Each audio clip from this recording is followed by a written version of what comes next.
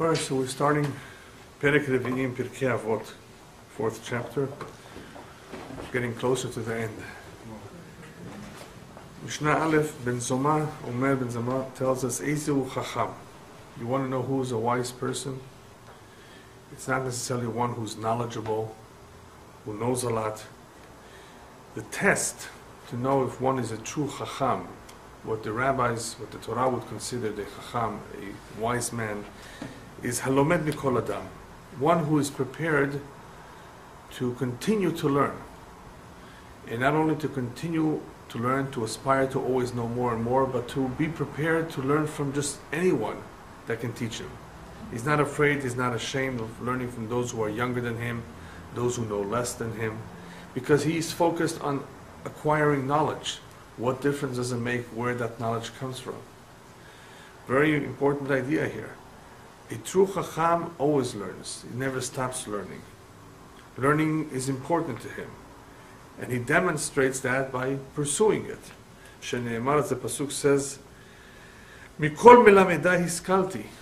I was able to learn something from all my teachers. Even one letter, one pasuk, one halacha. As the rabbis tell us, one is supposed to be mechabed, to respect those who have taught him even something small, a small detail. What's the significance of this uh, chokhmah, of this chacham? Obviously, it is important to be knowledgeable, it is important to learn Torah, it is a mitzvah to learn. But here we're, we're trying to define the, the proper definition for it. What is chacham? We're trying to figure out what is praiseworthy, what is something to be to admire about a chacham. So he makes a point, it's not the amount of knowledge, the vast amount of knowledge that the person has. That's not necessarily something to admire. The true admiration, even though that's also admirable, but the true admiration goes to someone who values the chokhmah so much that he's willing to continue at any cost, go to great lengths, to go to shiurim even though they're far from his home. Because he wants to learn more and more, he never wants to stop learning. As the rabbis tell us, that is why Talmid Chacham is called Talmid Chacham, the student of a Chacham, because he's always a student. He always considers himself a student. One never stops learning. Life is full of learning experiences. The more so for a Jew, there's always what to learn, even though you've covered it once.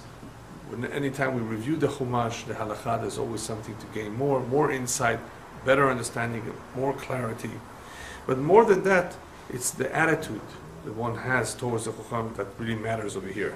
Because that really is more indicative than anything else that this is a real Chacham. The reason why a real Chacham is prepared to learn from anyone, even from those who are younger than him, is because his learning experience is always L'Shem Shamayim.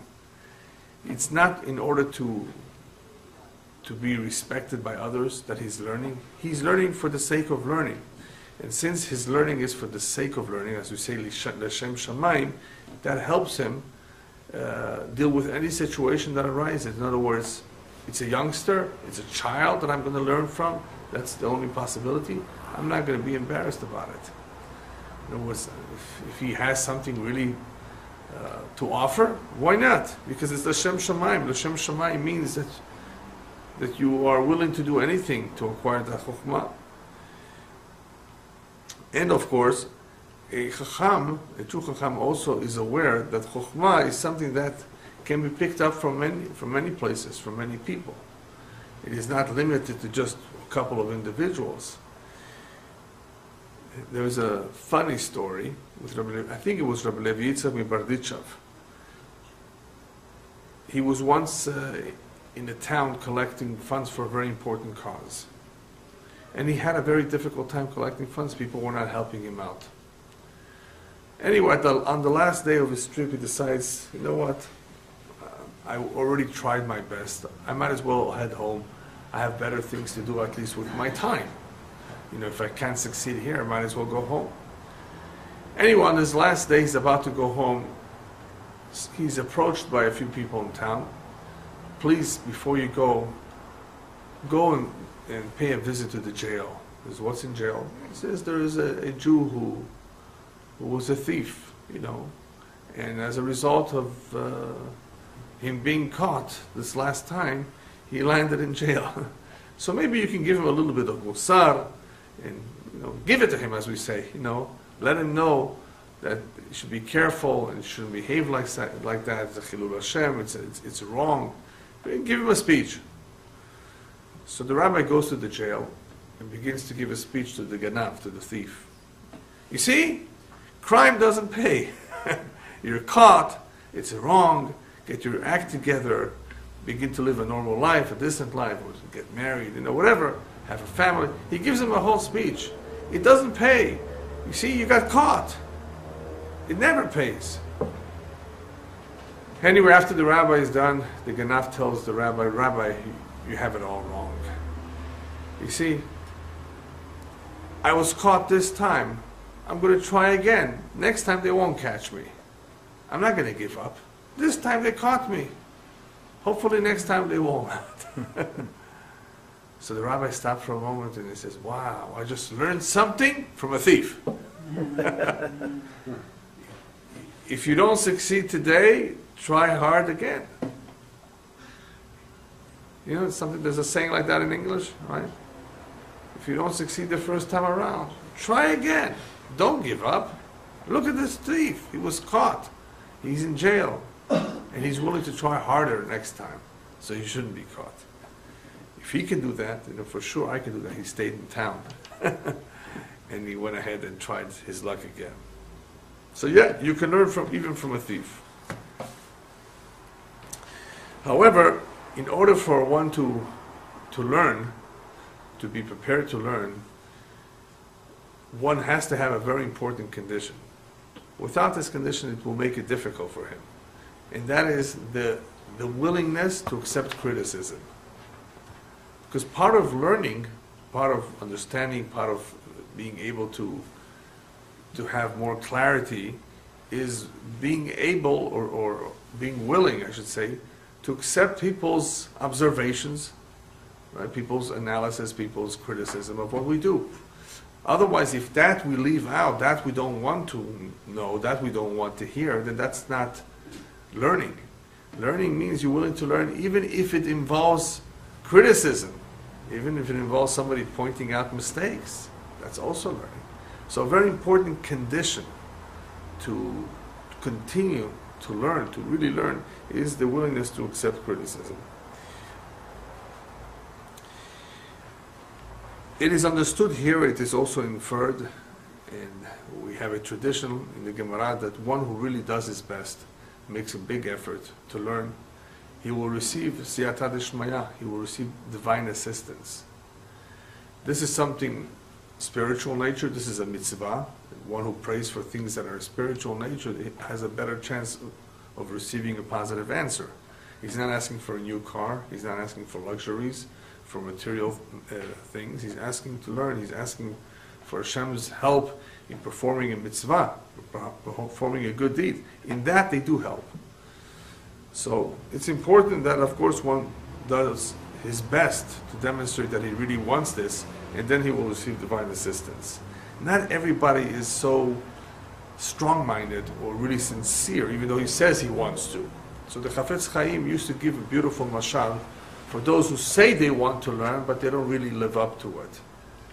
Says there was once a, a businessman who was not doing too well. He came to town and, and uh, he wanted to, to get a loan. Perhaps a loan would help him get back on his feet.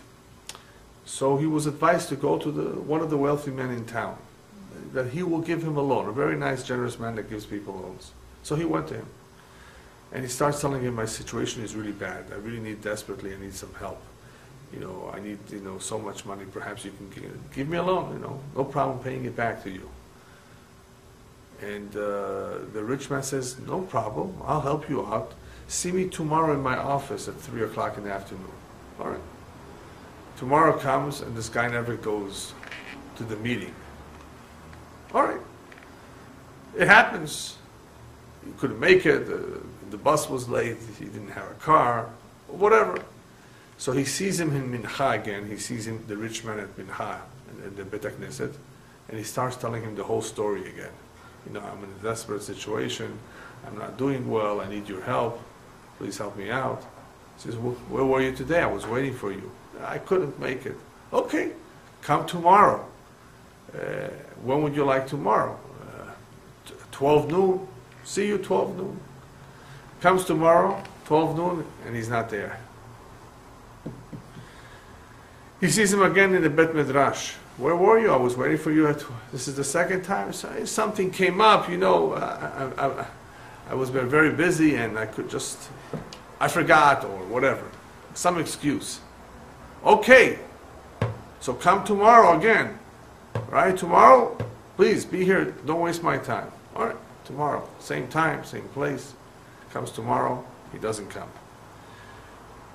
The next time they meet up in Minha, in the Bet Knesset, he goes over to him and spills the story again. I'm desperate. I'm having a hard time. Please help me out. And the rich man tells him, scram. Something like that. Get out of here. I don't want to see you. Don't bother me. I gave you a chance three times. If you really wanted the money, if you really needed the money, you would have been here the first time. You didn't come three times. You're obviously not so desperate. Don't sell me this kind of stories. So the Chafetz Chaim says every day in the prayer we ask the Kadosh Baruch Hu before Kriyat Shema, "V'tem belibenu bina להבין, להשכיל, ללמוד, ללמד, לשמור, לעשות ולקיים. We ask Hashem, please give us the understanding, give us the clarity to be able to understand, to learn the Torah, to teach it. Help us. Every day we ask for the same thing. So the Chafetz Chaim says, but what happens at the end? Do we go to the Bet Midrash? Do we go to a shiur? Hashem says, I'm willing to give you. Come to the shiur, come learn, and you will see that with time, I will help you. I will help you understand it. I will help you motivate you even more. But you have to make the first, uh, you have to make the effort to take the first step. So we make the same requests of the rich man. We make the same requests of Hashem every day, but we don't keep up with it. In other words, we don't follow through with, uh, with, our, with our request. That means we, we're not sincere, Chas v'shalom. Person who was really sincere, he asks, okay, he comes. Hashem says, I'm willing to give you. I am willing to give. And Hashem says, I'm willing to help everyone. And this, by the way, applies to everything in life. You know, where where hishtadlut, some effort is required, whether it's with shidduchim, whether it's with parnasah. To some degree, to some degree, it requires some hishtadlut. Some effort has to be made. The more bitachon that one has, the more that the person really has faith in God completely, then he needs less hishtadlut. You know, as the Ramban says, if somebody had complete bitachon b'Hashem 100% and he was sick, he would never have to go to a doctor. Hashem would cure him, would heal him. He wouldn't have to make the effort of even walking to the, of going to the hospital. But we're not on that level.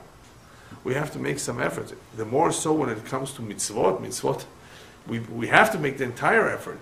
Even so, Hashem helps. But we have to make the effort. Hashem can't do it for us. You really want it, then prove it.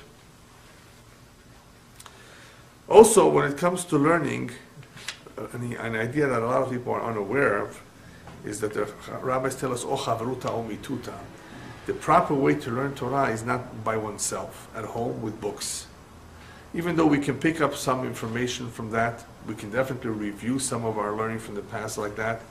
But when it comes to really understanding and really learning, uh, whether it's especially Gemara and Halacha, where it can become complicated and deep, it is important that it be done with havrutot, with another individual, or with a group of people, or in a shiur. So there's the possibility of asking questions, of, of, talking back and forth to each other and saying, no, you're wrong. Well, this is, oh, I didn't realize, yes, but oh, this is like that. There's so much more action going on, and therefore, all that action and all that effort and that intensity leads to a better and deeper understanding of whatever it is that is being learned especially when you learn things that are deep, Kabbalah, Bechlal, that's abstract. What if we make a mistake? Who's going to point it out if we are by ourselves at home? So even though learning on, by oneself sometimes is okay, it's acceptable, there's nobody there, you're on vacation, you're away from your routine, that's fine. You can review things, you can read things that are, are not as deep or complicated, but generally speaking, learning one wants to accomplish a lot in learning, not just to cover ground, but to have a real understanding of what he's learning, it is better served by learning in a group, by learning with at least one chavruta. Chavruta means a, a learning partner. So that was Chacham. Now let's go to the next one that Ben Zoma admires, and admi- that's some, something to admire. Ezu Gibor Hakovesh et Yitzro. Who is a strong man? Who's, who should we admire as being strong? Not one who can lift 500 pounds in the Olympics. Weights, muscles, no. That's not the gvura, that's not the strength we're talking about. The strength that is admirable is Akovesh et Yitzro. One who's able to control his, himself, control his anger, discipline himself. One who's able to overcome his weaknesses. That's called kovesh et yitzro shenemar tov erech kapayim migibor moshel berucho melochadir. He quotes the pasuk in Mishlei that it is better, more admirable, one who is controls his anger, he's tolerant of people's mistakes, he doesn't get upset. That's more admirable than somebody who conquers a city. Erech apayim, moshel berucho. These are admirable traits much more than Oked Ir. What's the point over here? The point over here is that there are different kinds of gvurot. There are different kinds of strengths in the world. Here he's not talking about physical strength at all. No examples here are given of physical strength because physical strength belongs in the world of animals. That's physical. The stronger animal will dominate. Amongst human beings, that strength is not something that we reckon with so much. That's animalistic. What do we reckon with? What is admirable? What do we? What should we look up to? What is really strength in human terms? There's two kinds. One, courage at the battlefield, and the other, self-restraint. These two have to do with the heart strength of the heart is human. St- animal strength is not for the human. I mean, of course, we want to be strong so we can move things around, but that's not how you measure strength. We measure true strength and we admire, we look up to a strong human being when he demonstrates courage or self restraint. However, between those two, self restraint and courage, which one is the most admirable? Self restraint. So that's why he quotes the two in the pasuk. Tov erech apayim migibor umoshel berucho meloched ir. Strong courage at the battlefield, conquering a city. Yeah, but this one is better. Why is this one more admirable? Because to self, to, for one to have self-restraint, it requires good judgment. It requires special skills. Much more than courage in the battlefield. But one is courageous. He's not afraid. Fearless. This one requires a lot more.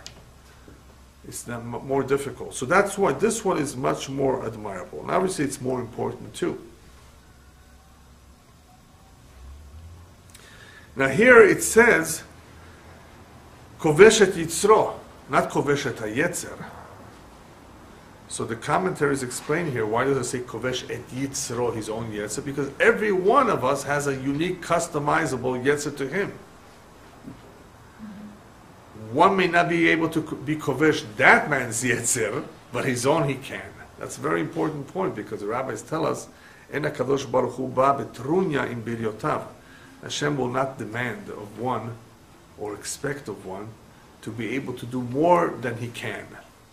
Hashem therefore never overloads one, never gives one too much of a yoke, of a burden that he cannot handle. It, it wouldn't be it wouldn't be fair. Whatever one is going through, experience in life, a difficulty of sorts, whatever it may be, that difficulty, whether it's an illness or whatever, he can handle it. Those, of course, who don't want to handle it may have committed suicide. Not because they can't, because they didn't want to. Of course, it was difficult. Nobody ever said it was easy. But had they chosen to live, had they understood properly the, the value of, of the gift of life, they would not have run away because it is foolish to think that the grave is a place to escape to. Things only get worse there. So some people, of course, do not have the right understanding, and you know, of course, we're not here to criticize them. You know, they obviously were were very weak, but it does not mean that they did not have the ability to control themselves, to to overcome their their yetzer. Because it's talking about their yetzer, Hashem does give the, everyone the strength and the ability to overcome their yetzer. And everyone has some yetzer, some challenges in life that he has to deal with. That is part of his test of his nisyonot in life. Now, the reason why this is admirable is because we said it's not easy. Not only is it because it's important, it's definitely something important that we do that's part of life, but it's not easy. Now, why isn't the Yetzer Hara something easy? Other than the fact that Hashem did not make it easy, obviously. The reason why in true life, Yetzer is not easy to conquer, and we sometimes win and we sometimes lose in fighting him, is because the Yetzer is a different kind of foe, different kind of enemy than your ordinary enemy. Your ordinary enemy, you beat him once, he leaves you alone. He figures, you know, that's it. And he, and he maybe he's even destroyed. The Yetzer you can't destroy. You won today, guess what? He's there tomorrow again, same time, working overtime. So the Yetzer Hara is a challenge that we have on a daily basis until the day we leave this world. And this Yetzer Hara, even if we defeat him once, twice, three times, he's always going to come back to us. The rabbis, I think, tell us in the Midrash, Yetzer Hara domel zvuv. He's compared to a fly. You do this, comes back. Especially the flies in Israel for some reason. And the cats, you know, they have this chutzpah. You throw a rock at them, get lost, and they come. They don't move. They're not phased by it. you know. So the so the rabbis tell us the Yetzer Hara is like a fly. You do this, it's going to come right back. So it's coming back. So don't think it's gone. Now, even if you even if we win today, the danger lies not in the only the, not only in the fact that he comes back tomorrow. That's besides the point. The one tomorrow may not look at all like the one today. I beat him. I showed him. He can, you see, I, Baruch Hashem, I held myself back from whatever it was. Who says you can hold yourself back tomorrow? Today they offered you a hundred dollars bribe. I resisted. Tomorrow they're going to offer twenty-five thousand dollars bribe. Can you resist that one too? You see what I mean? So the Yetzer Hara is otagiveret b'shinui aderet, they say in Hebrew. It's the same woman wearing a different dress.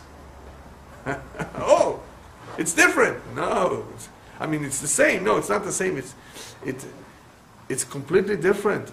And because it's different, you you don't expect it. We may not be able to handle it. We were in a better mood yesterday. The circumstances were different. So one should never get, be so overconfident that because he was able to deal with this yesterday, today, he didn't get upset. Oh Hashem, I kept my mouth shut. I behaved myself. Who says tomorrow you can do that too? Tomorrow they're going to come from, you know, from a different angle. They're going to say a different word that's going to really get you upset. Yeah. It, there, there are words in Farsi to insult people, no? If you want to insult or offend, even Farsi has those words. Yeah? Every language does. Yeah, I'm just joking, right? Some languages, however, are richer than others. They have so many kind of words, so many kinds of expressions. And all it takes is the wrong one to, to get you upset. I'm not going to mention any. yeah. So that's what it means. The Yetzer Hara is going to be different. And who says we can beat him the next day? So we have to be on the lookout. There's an interesting there's an interesting, uh, that's the word though. There's an interesting uh, Chazal, I think it's in Avot Rabbi Natan, which is similar to Pirkei Avot, that says, Ezu gibor shebegiborim. We just talked about the strong individual who's strong because he controls himself. You want to know who's stronger than him? You want to know who's the strongest of all? Whoever can make from an enemy his friend. That's that takes tremendous skill. That takes tremendous courage. That, uh, of course, is not easy at all. Who has the desire, the interest to do that? But sometimes, of course, that is the correct thing to try, to attempt to do whether it's in a, in a husband-wife relationship. Imagine one taking the initiative and trying to get everything, you know, redone, and convincing the other side that, you know, you know, we're not enemies, we're friends, and we're, you know, whatever it is, whatever relationship we're talking about. It, it is possible, but it's, it take, it requires a tremendous amount of work to accomplish, and that is a real, whoever does it, that's a really gibor giborim. But anyway, here we're, we're talking more about self-restraint.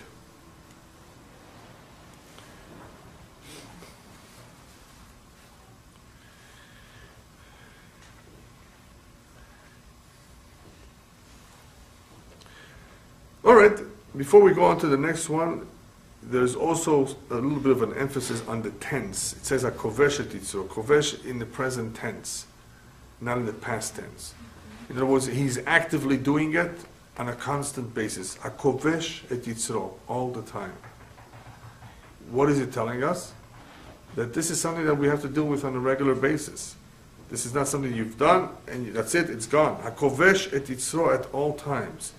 And this is not only because that's the right way to do it, it's a, it's a fact that every day we need to deal with it, sometimes more than others.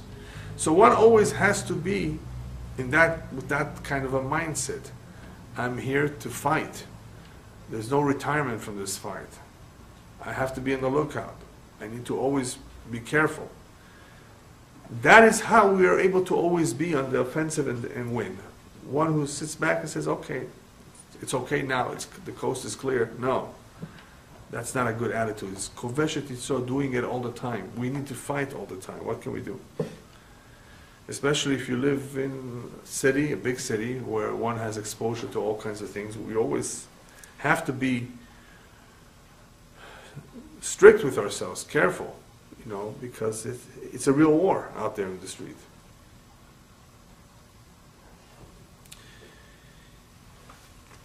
As far as actually conquering the Yetzer completely, is that possible? The rabbi, uh, the rabbis say no. Not only is this a constant war, the Gaon of Vilna explains that we will never succeed in eradicating one bad midah from ourselves, a bad characteristic, because it's part of our nature. We were born with it. To eradicate it, no. A person who's born stingy will always have that quality in him. What do you mean born stingy? Born stingy means he's born with a tendency to be very economical. and obviously he takes it to the extreme. He has that tendency. And of course he has to work on himself. He has to learn the importance of helping others, being kind. He has a big job. Stinginess is one of those weaknesses, Shashem Yishmor. It's not easy, but it, you, one can overcome it. So the Gaon of the Gra says you cannot eradicate that midah. What can you do? You can control yourself. You can train yourself to do things that you're not doing it by nature. You can stop yourself from doing things that you would otherwise do because of your nature. So we can train ourselves. We can get into the habit of doing certain things or not doing other things. And habits are, uh, formed are like second nature. So we cannot eradicate a, an instinct or a, a midah that is there from birth but we can control it. So when one gives tzedakah all the time because he realizes the importance of it, it's besides being a mitzvah, he, he gets himself trained and used to it. Is that his nature? No. Does he do it gladly with all his heart? Probably no. right? He's doing it because he was told how important it is and he's trying to get used to it as best as possible. But don't think it comes easy. Don't, it for sure does not come automatic to him. And this could be said about uh, laziness, and this could be said about anger. There's all kinds of midot. Some people are more prone to this, some people are more prone to that. And the main idea is we have to control ourselves, train ourselves. Rabbi Salanter says, and don't think the training is easy. because he says it's easier to learn the entire Shas, all the Gemara. That takes about seven and a half years to finish if you learn one daf a day. It's easier to accomplish that than to change one midah. To change meaning to really control yourself in one midah. To, to succeed in refining one characteristic is much more difficult than to learn the whole Shas. So it's not easy. Nevertheless, we can do it.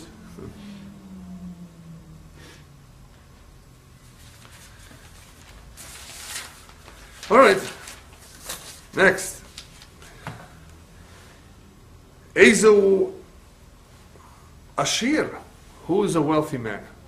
Okay, we're done with the strong man. We're done with uh, the Chacham. Now we're going on to the Ashir. We're, talking about individuals that are, that are that we admire. It's not the one who has a million dollars and not a billion dollars. Ezu Ashir, you know who is a true Ashir? Hasamech b'chilko.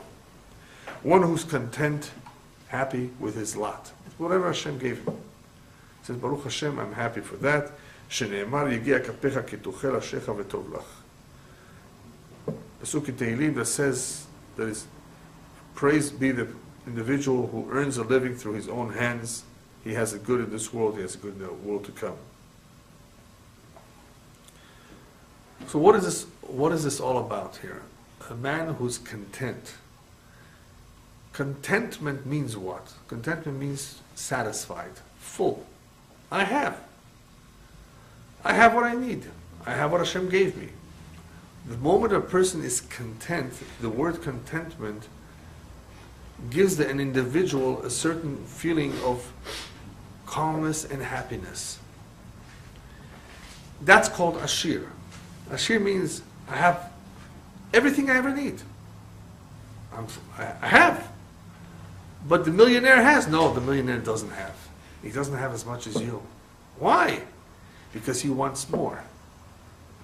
If he wants more, that means he doesn't have something. He's always craving for more and more. So who has more? The one who has less, but he's happy, who's content with what he has. This is a simple understanding here. Simple but true. That one who's content with a simple lifestyle is happy. He has everything. He's happier than the one who has millions of dollars because that millions of the, that individual who has millions of dollars wants more is always worried about how to make more.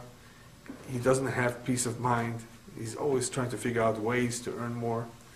And on top of that, be, because he's always trying to make more money, he doesn't really have that much free time to learn, to spend with his family. The one who's content says, That's it, I worked nine to five. He has more time, more time to use for his family, more time to learn, to do mitzvot. What What a difference in life between the two of them.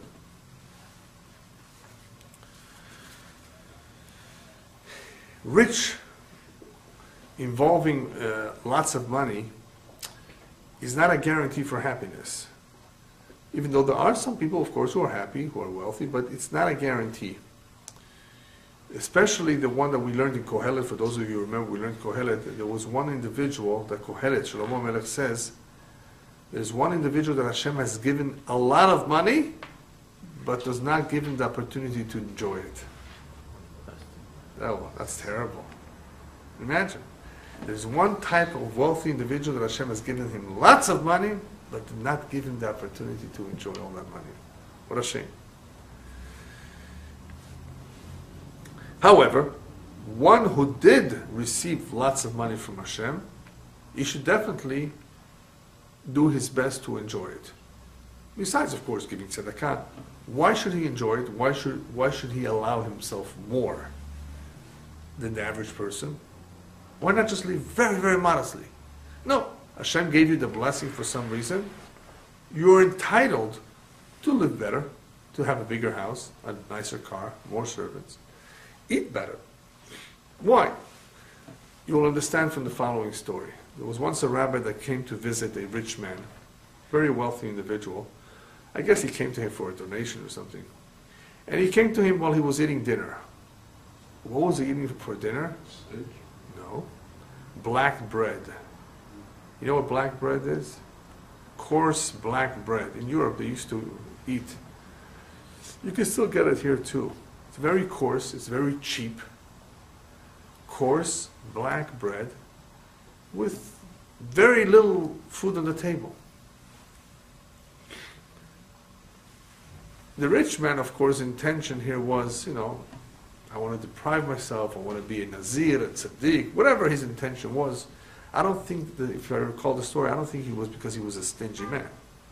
He was just trying to be very, you know, modest in his, in his eating. The rabbi says, You're making a big mistake.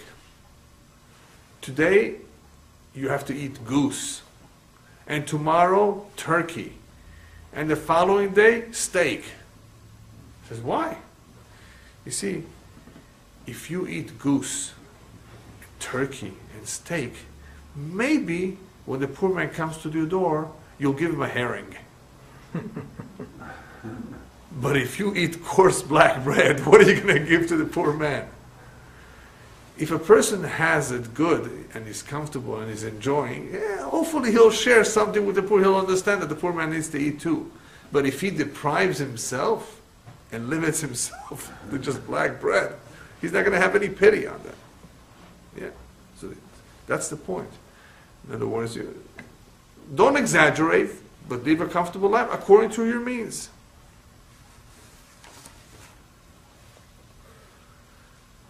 Okay, so now that we understand the value of a samech bechelko, that this, the true contentment means the feeling that whatever Hashem gave me, that's what He wants me to have, and, and I should be happy with it.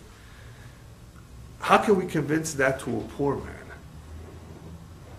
He's poor, he barely has anything, and we tell him, you know what? Be happy with what you have. See, if somebody's middle class, okay, you know, so he has two bedroom apartment, you know, he doesn't have four. All right, but Baruch Hashem. But what do you tell a poor man that he barely has anything, you know, to, to eat, you know, struggling? How do you convince him to be happy with his lot, his very small lot? You know how? One of the best advices is there's always somebody out there who has less than you. That's how. That's one way. Look at the fact that Baruch Hashem, you have this. There are others out there that don't even have what you have. Just go to India or Bangladesh, these places, and you'll see. Therefore, the rabbis tell us look at the word Ashir, and from the word Ashir, you'll be able to figure out who is Ashir. Ashir has four letters Ein, Shin, Yud, Resh. Ein stands for Einaim, the eyes. Shin for Shinaim, the teeth. Yud for Yadayim, the hands. And Resh for Raglaim, the feet. Baruch Hashem, you have your eyes, you have your teeth, you have your hands and feet. Be happy. Because at the hospital, you'll find people that may be missing one or, or more of those things. They don't have it. So when a person visits a hospital, that's a, a, good place to visit sometimes. One can see that he has reason to be happy, reason to be thankful to Hashem, that he has a lot more than others do. So it's not just about material things, money, it's about a lot of other things that matter even more than money. So these are, these are ways where a person can hopefully focus better on realizing that Hashem has been kind to him and that he has everything that he needs to have, everything that Hashem wants him to have at least. That's what he has. Who, there was somebody once who a rabbi met, you know, how are things? Yeah, it could be a little bit better. He says, whoever told you that? If it could be better, Hashem would have given it to you. Hashem is, Hashem feels that this is what's good for you, the way you have it now. Don't ever say it could be better. How do you know? It could be worse. Person has to take the, whatever situation he is in and say, this is what Hashem wanted me to have right? Then I'm happy. Now, there, of course, there are exceptions to that. There are things that a person does to himself that is wrong. Depriving himself of certain things, right? Not wanting to do certain things that he should be doing. You know, Hashem wants it to be this way. No, Hashem does not does not want you to be bitter, does not want you to be unhappy, does not want you to remain single, does not want you to be to be sad or upset, right? Hashem wants us to make an effort, of course, to find a solution to certain problems that, that there are solutions to. I mean, if there's no solution, there's no solution. That's already up to us. You can't say, oh, Hashem wanted it to be like that. No, not necessarily. There are areas in life where we have to make an effort, as I said earlier, to improve our lot, to improve our life, to make shalom. No, it's like this, this is the way I am, this is the way she is, and that's the way. No, no, no. You have to try to improve. You have to try to refine yourself, to learn to get along. No, this is the way I. Accept me the way I am. No, chas v'shalom. Even though, yes, it's true that people are what they are, but you can, you can make an effort to make things easier and smoother and learn from the mistakes and learn to be accepting and appreciative. And all of these things can make the marriage relationship, for example, a lot easier. Even though people are different. Okay, yeah, they're different, okay. But there are tricks. Use your judgment. Right? You do whatever you can to make it easier. So, so it shouldn't be so hard. That's up to us. Next, the last one that he that is admirable in this Mishnah. Ezu mechubad. Who is a respectable person? Who is an honorable person? Who, which individual deserves honors? Who deserves to be respected? Mechubad. Hamechabed et One who is respectful of others. In other words, if you give respect, you will earn respect. That's the real system uh, of, of respect in this world. To, true respect is earned. It needs to be earned. It's not something automatic. It's not something that we should pursue. Rabbi tells us one who pursues honors, the honor will run away from him. He will never be honored. True respect is something that we earned. And how do we earn it? By giving it to others. Oh, you're respectful of other human beings. שנאמר כי מכבדי אכבד ובוזי יקלו. In other words, Pasuk in Shemuel, which is a little bit of a different connotation, but basically it means similar, that those who we give honor will give us honor. Those who we care about, we respect them, we treat them as human beings because they have the Tzelem Elohim, the image of Hashem on them. Obviously, that is not only a midah keneged midah from Shemaim, but that they will that we will re- receive that kavod too. But naturally, human beings appreciate that and will return the favor, will return, will have a similar attitude. That is earned, not just you know acquired because of a man's position. When a man, because of a man's position, people give him kavod, which may be okay and acceptable because of his status, that is not the real kavod ultimately. That's external. It's external because it has to do with his position, with his money. Even though he may deserve it, fine. He was supposed to give kavod to the, to the rich people. Hashem gave him more money. That's fine. That's correct, acceptable. But it's still external. It's an external kind of kavod because we are giving the kavod to the status. The true kavod is the kavod that's earned. Very important point because kavod is, is, is one of those yetzarim that people have. Some people like uh, money, other people like women, uh, in other words, in, in, a, in a prohibited way, that is. and other people like kavod. Kavod, it's so important that they get easily offended and insulted if you didn't, if you didn't give them some position of honor at the chuppah, underneath the chuppah. They feel, oh, why didn't you give me a blessing to make?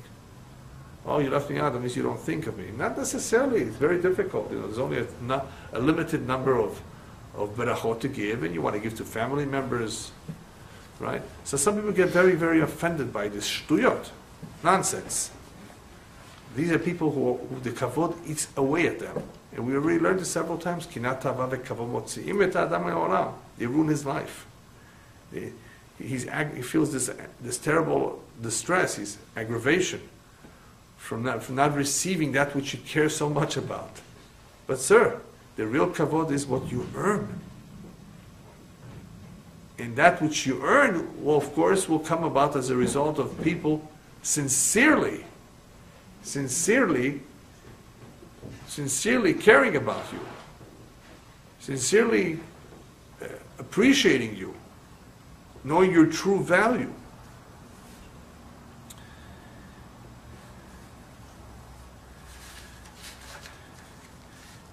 Anyway, there's a pasuk, a very nice pasuk, in Mishlei that ends ve'ish kefi mahalalo.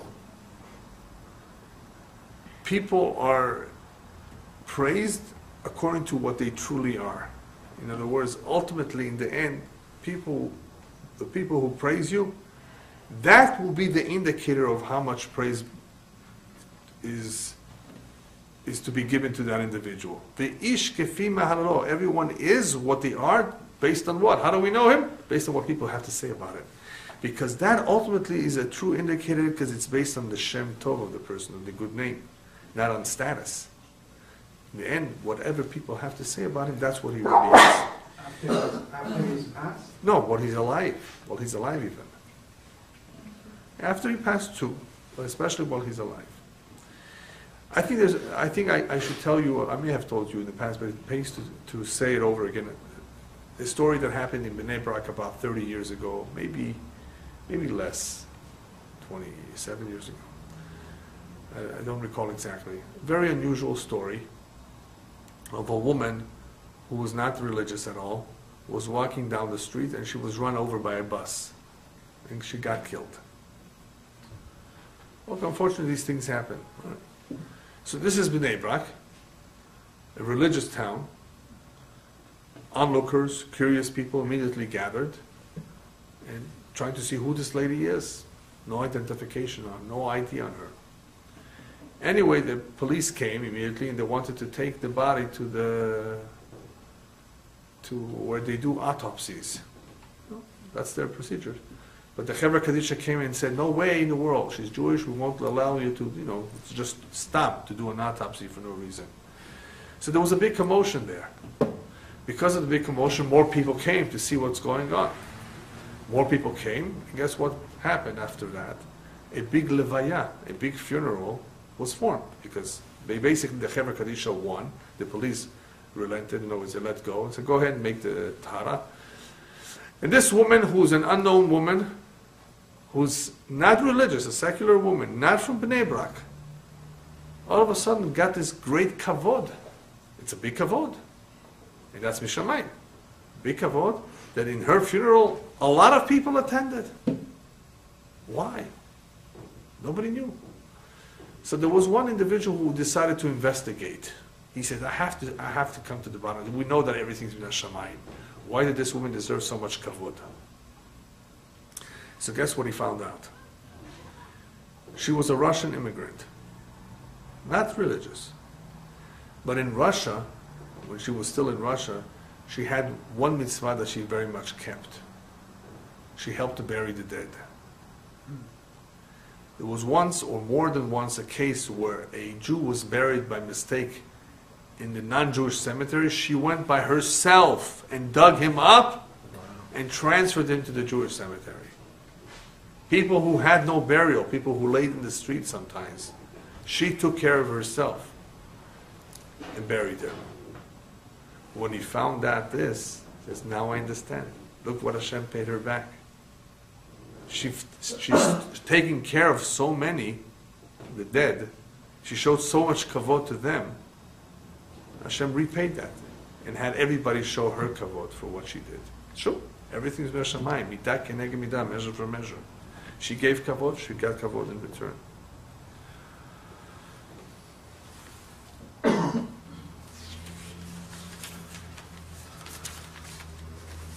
It's also important when people, when we talk about praise and, and giving kavod to someone, it's important to know who the individual praises. Look at a kid's room, you'll see pictures of basketball players. Some kids, you'll see pictures of Chachamim. Who does he look up to? Who does he admire? That's what he is. So it's not only the importance of giving kavod to people, it's important to know who that individual gives kavod to. Who does he look up to? Who does he praise? That's also indicative of who he is. All right, let's see one more Mishnah. Actually, before we go to the Mishnah, an important pasuk to keep in mind, a very famous pasuk that we read in the Haftarah from time to time. Yirmiyahu says, Ali thalel chacham b'chokhmato, gibor, gibor b'gvurato, ashir be'oshro, kim be'askel v'yado aoti. These are more or less the, the words that he says. A chacham should never be proud of himself because of his chokhmah, A gibor, strong man should not be so proud of himself because of his strength, or a rich man because of his wealth. What can a person be proud of himself? What should he be happy with? And what is really something to look up to and admirable? V'yado oti. Whoever knows God, whoever is a true servant of Hashem, that is someone to look up to. That's something that the person can be happy about. All these other things of Chokhmah, Gvura, and Osher, they came about through mazal, or inheritance, which is more or less the same thing. One did not really do anything unusual on his own to get those three. He was born with that inclination, he was born with that mazal, he was born with, you know, the certain abilities. He has an IQ of 275, so what, big deal. He was born with that. You can't develop that. He was born like a gibor, even though, of course, you have to do exercise. Okay. He was born with a mazal to be an ashir. It was not his PhD. It was none of that, even though he made efforts and, of course, he built and he bought and this. No, it's ultimately the mazal that got him where he is. All these things are not to be admired because these are things that come through mazal. They're not things that one did on his own. What does one do on his own, on his own, from his own free will, that is admirable? Is Yirat Shamayim. God, how much does he fear God? How much of a good Jew he is? How much does he help others? How many mitzvot he does? These are things to look up to because that he does on his own, from his own volition. That he does on his own, not his mazal. Nobody tells him to do it. He did those things on his own. Smart, intelligence. He knows the whole yellow pages by heart. You know, there's, there are people like that, all kinds of weird records. Big deal. There's nothing to admire here. It's nice, it's cute, it's interesting, but not admirable because he didn't do it on his own. Some effort, maybe yes, but it's really a gift from Shemaim. That's all it is. Hashem has all kinds of gifts that He distributes in this world. Money here, chokhmah here, gvura there. No. Haskel v'yadot, Yirmiyahu says, what's, what's really admirable is somebody that knows me. Somebody that thinks about me, somebody that is devoted to me. Next Mishnah, Ben Azai Omer, Haveras lemitzvah kala kebachamura, uboreach min averah. One should run to a, a small mitzvah as though this is a big mitzvah, even though usually we don't know, obviously, what is a big mitzvah and what is a small mitzvah, at least in our mind. Even though this may appear to be a small mitzvah compared to another bigger mitzvah, we should always pursue it. We should always try to fulfill it and not leave it alone. Not say, I'll come back to it when I can another time. And run away from sin, any sin. Why? So maybe we'll, we'll first read the Mishnah, then we'll come back to it. The reason for that is because shemitzvah mitzvah, one mitzvah leads to another mitzvah, and avera goreret avera, and one avera leads to another avera. So you want to do mitzvot, even though they're small, because they will lead you to do more mitzvot. You want to run away from averot, because one avera can lead one to do another avera. Besides that, sheschar mitzvah, mitzvah, schar avera, avera, even though it's not something, it's not really another point, it's really the same, but it's also another point that the reward of a mitzvah is an additional mitzvah, and the reward of an avera, even though it's not a real reward, is you get to do another avera. In other words, a person ends up chas v'shalom doing more. So what's going on over here? Ben Azai wants to impress upon us the importance of opportunity, opportunities that arise, to take proper advantage of, not to let them go, especially when these are opportunities to perform mitzvot. There's a nice minhag I heard in Morocco, there used to be in Morocco, minhag custom, that people made a great effort to go to a house of mourning. A mourner? Why? Because a wedding, you can always tell your friend, I'm sorry I couldn't make it, I'll see you at the next wedding in the family. Could you imagine telling the guy, I'm sorry I didn't come to comfort you, I'll see you next time? no, you don't want to say that. So the people always made an effort to go to a house of mourning. so they shouldn't have to say it next time around. But anyway, Ben Azai impresses upon us the importance of mitzvah kala. What's so significant about a mitzvah kala? It's not so much the mitzvah per se, even though every mitzvah counts, every mitzvah goes on our record. It's also initiative and momentum. That's what we're dealing with here. We're talking about initiative and momentum. Take advantage of every mitzvah that comes your way because you want to always be on the initiative to do mitzvot, not to procrastinate, not to not when you feel like it. When it comes to mitzvot, it's always better to be the one who initiates. Why? Because that will lead to a momentum. Momentum means that you're, you're doing it and you continue to do it. You stop, it becomes harder the next time. So take the initiative and therefore don't miss the opportunity, even for small mitzvot that come your way. Don't wait for them to come your way. You go ahead and do it.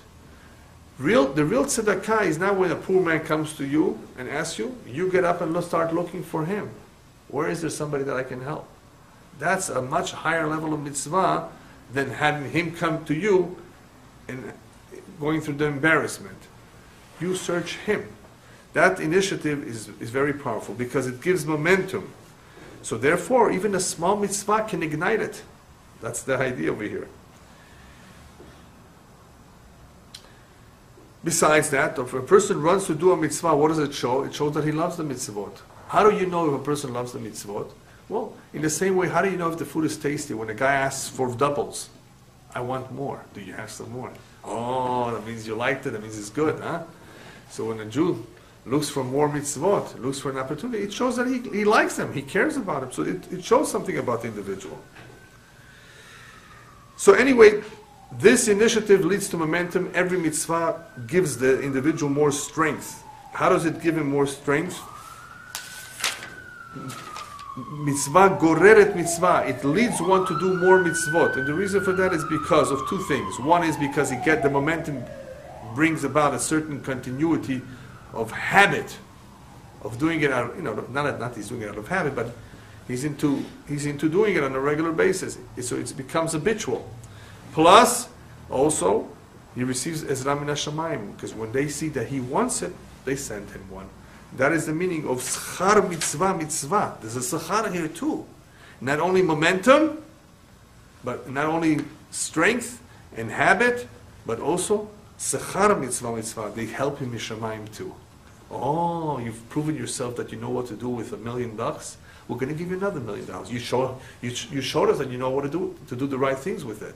Somebody doesn't, they take they may take it away from him. You don't know what to do with it. You're going just to Vegas, right? But if you demonstrate that you want to, then Hashem helps too. So that's two things here: momentum plus schar mitzvah mitzvah. What about averot? Averot just opposite. Chas v'shalom. If a person does an averah once, he should feel bad. The rabbis tell us because now a petach niftach the door is wide open. The next time it might be easier for him to do it. The first time he was hesitating, but he made a mistake. Feel bad about it, regret it, repent about it. Why? Because if you don't, that averah has such strength that it may draw you like quicksand, chas v'shalom, into another one. So therefore, we have to feel bad not about the averah as much as about the door has been opened. The door now is open, and the next time it could be easier. That's what we have to feel bad about.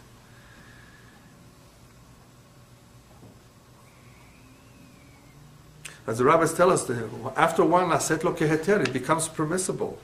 So that's the meaning of avera goreret avera plus schar avera avera, because it becomes permissible. No, so it's like he's being rewarded with another one. Because next time he's going to look at it, it's okay. It's not the end of the world.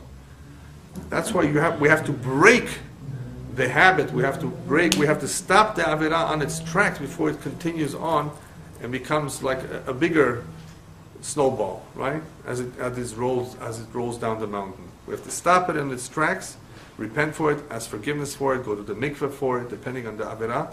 And this way we're able to stop it. As the rabbis tell us, if a person really regrets it right after he did it, that regret not only removes the accusation from him, it also helps him deal with the Yetzirah in the future because that Yetzirah doesn't have any more momentum to continue.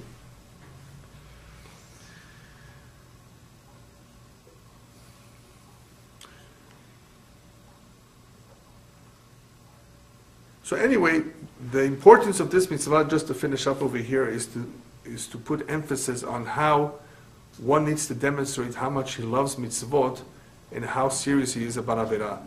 He has to demonstrate that by with mitzvot by taking the initiative with mitzvot, and with averot by being extra cautious, and staying away from even an averah ketana. How does one, in the end, really demonstrate that he loves Hashem? A lot of people say we love Hashem, we love Hashem. Really, in three ways. There's three ways you can show that you love Hashem. Number one, do you love the avodat of Hashem, the mitzvot, in the same way you love other things? You love, you love to drive, you love to go vacation, we love to do things. Is that love the same with the mitzvot? Do you feel the same when we do a mitzvah as, as we do other things? If you say, yes, I feel as excited about this mitzvah as I do about other things, that's a good sign. That's number one. Number two, how many hours do we devote to mitzvot? Do we devote as much or close to as much as we devote to other things that are trivial, especially trivial, even though it's not work is work, trivial. Other people, some people spend time, a lot of time on newspapers, on the internet, on junk stuff, uh, sports section, gossip section. You could have said Tehillim.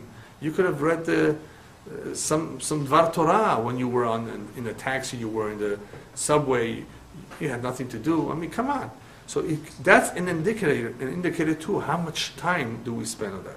And number three, when we do mitzvot, are we excited to do it, or are we doing it? Oh, I got to get this over with. That also, all of this are indicators of how much a person really likes the mitzvot.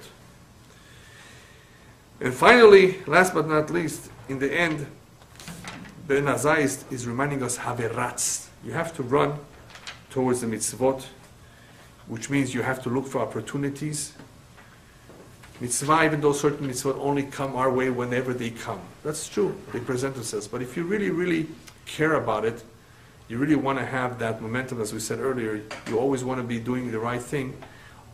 Be in the habit of being ratz. You're always looking for opportunities to help, looking for opportunities to do certain mitzvot and not for the mitzvot to come his way. Ratz shows that you you want more. Ratz, as we said before, it, it builds up momentum, eh, and it therefore will will also be a venue for more mitzvot because Hashem says, okay, this man really is eager to do more, so I'm going to send him. And th- in this way, his mitzvot will build up, all his reward in olam haba as well, not only in olam hazeh. There are good fruits, perot, that one gets from the consequence of doing a mitzvah. But also he builds up his mitzvot, his record for Lama where others would not, because they just did what they have to do. Some people just do what they have to. That's the chovah. This man wants more. Once more, they will send him more. With avera, with avera, it's just the opposite. That one has to be extremely careful to stay away from any risky situation. And that is that is another point that was very very much emphasized. Is is boreach run away. Doesn't didn't say just stay away, run away, which means, you know, a person should never say, oh, it's okay, it won't happen to me, I'll be fine. Shlomo Melech said that and he made a big mistake. Right? A lot of people fell because they were overconfident themselves. Averot, you see something that may, something bad can come out of it, boreach, like from fire, run away from it. Because falling there will make it worse later. As it is, this is bad enough, but imagine what will happen later. So one has to look at these things in, with the right perspective. What is a mitzvah? It's not just a good deed. I'm commanded by Hashem to do it. It's not just my boss. It's the Creator who gave me this opportunity, and He will help me. This is a, this is a proper way of looking at it. Therefore, I'm going to run. I'm going to show that I care, even though it's difficult to wake up in the morning or to go to a shiur. I want to demonstrate that, that this is real. So we have to get into that habit of being ratz to mitzvot. And obviously, when it comes to sinful situations, risky situations, and there are many risky situations outside, stay away from it from fire, which is, of course, a very important point that people don't understand. It's fire. It's risky. Don't take a chance. Sometimes it's not worth it because it's, it, it lures you. It's it could be a trap and it could lead to other things and worse things. So the Chachamim tell us, stay away a big distance from certain things. Because the smile, and then what are you doing for lunch today? And this, and all kinds of things that can lure you. And there are certain areas of Averot that are big traps. Big traps, and that is, of course, the area of tzniut, of being, of course, modest distance between men and women.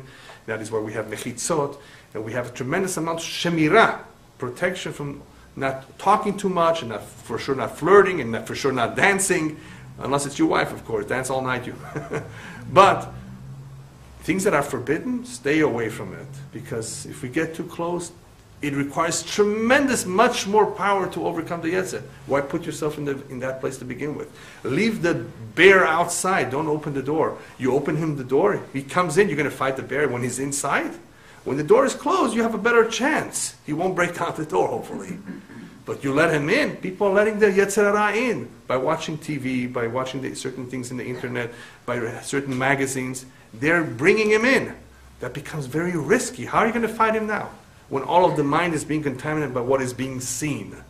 Don't see it. Don't look at it. And this way, B'ezrat Hashem, you'll be protected. Thank you.